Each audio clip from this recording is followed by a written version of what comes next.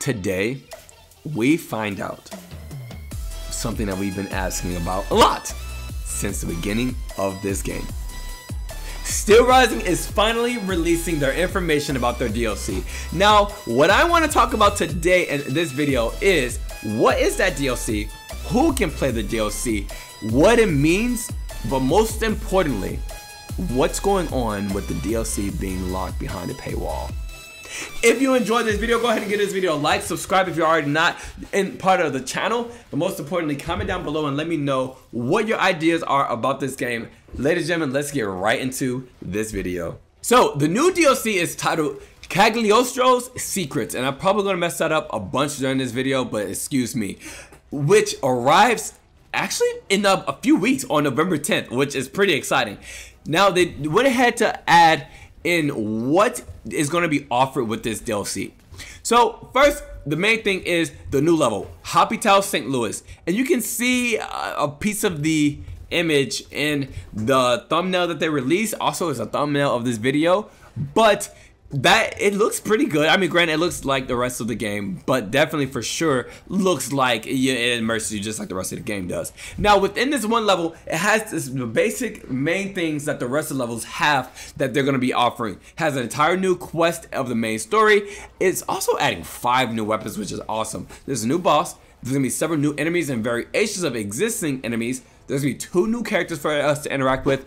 But then to add, they're gonna have a new side quest or new side quests, I should say, that are going to invite you to revisit certain different levels, which I think is awesome for a DLC to be able to kind of double down on some of the other areas. I wonder if there's going to be a new type of movement like we have that uh, uh, will allow us to go back and do certain things and again that we could not before.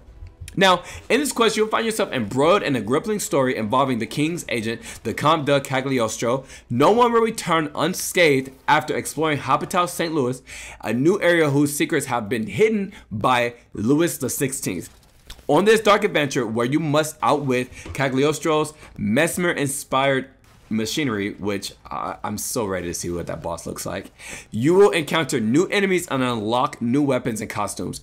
Are you ready to discover the shocking truth about the alchemy that powers the king's automatons? Which is pretty cool. It seems like this is where we're gonna get the chance to see how, like, what the, what the magic is of the alchemy behind all of the king's different uh, boss enemies, automatons, and whatnot. Which, if you're following the storyline, you'll be able to get, you'll be excited about that. Me, I'm not really following the storyline as much, but I think that's pretty cool to see. Now, who and how can we play the DLC? The expansion Cagliostro's Secret becomes accessible once you have progressed past the Bastille. If you have not gotten to the Bastille access level yet, you will not be able to access the DLC. You won't be able to access it at all. Whether that's in your first playthrough or if you've New Game Plus, in any game, you have to get past the Bastille in order to have access to it. Now, who can have access to it? If you purchased the Bastille edition whenever you bought the game outright, you should be able to access that DLC directly as soon as the DLC is released come November 10th. For everyone else who did not purchase the Bastille edition when they bought the game, you will have to individually purchase the DLC. So players who have reached the end game will be able to choose whether they want to load their end game save to be brought back to a previous spot in the game, which is likely going to be back to Versailles or Bastille, to play the new content instead of loading credits. So, to be clear, you have one or two options once you get to end game.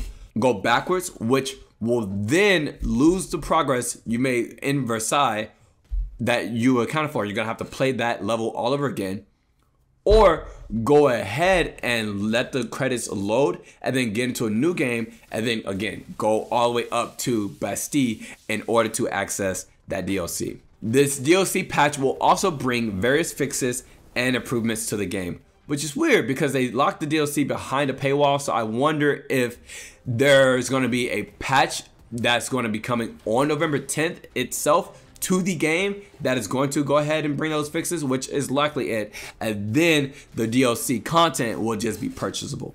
That's what I am assuming. Now, here's what I want to give my thoughts about the the DLC. I think the DLC is pretty pretty cool. Like I said before, I'm excited that they're bringing side quests that allow you to revisit certain levels. And to add to that, though, the story, like I said, I think the story is is going decent. I'm not following the story as much. However, do I feel like Oh god, do I feel like it is worthy or necessary to purchase DLC? Now, I'm going to say yes, only because they sold an edition that that promised DLC, and that was the purpose of that edition. However, do I think that I would spend more, more money if I was not a creator on DLC for Steelrising if I'm on PC? No. I am still having horrible issues with with PC's performance, with the game's performance.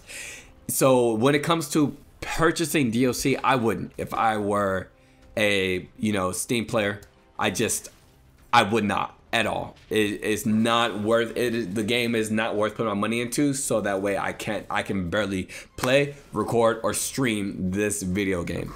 I would not. However, there are others, and I, this is only my opinion. These are only my ideas, and I, don't let it completely sway you. I want you to have your own ideas and pers- and I want you to have your own ideas and opinions for yourself for your own gaming. I just would not. Now, I am excited for a new patch. I'm hoping, I am hoping that this patch come November 10th is bringing some kind of PC performance. And obviously, when they release the patch notes, I will be going through those with you guys and letting you guys know on all the different information. Ladies and gentlemen, if you enjoyed this and you are looking forward to it, let me know in the comment section down below. If you've already given up on the game, because I know a lot of people have, please also let me know down below as well. And will this patch and DLC bring you back to the game? I would love to know. But anyway, guys, if you have not already subscribed, go ahead and subscribe so that way you don't miss any of the videos and content that we make on the channel about all these different Souls games, RPGs, and hack and slashers. I would love to see you guys back in another video. But most importantly, guys, have a beautiful goddamn day, and I will see you guys in the next one. Bye, guys.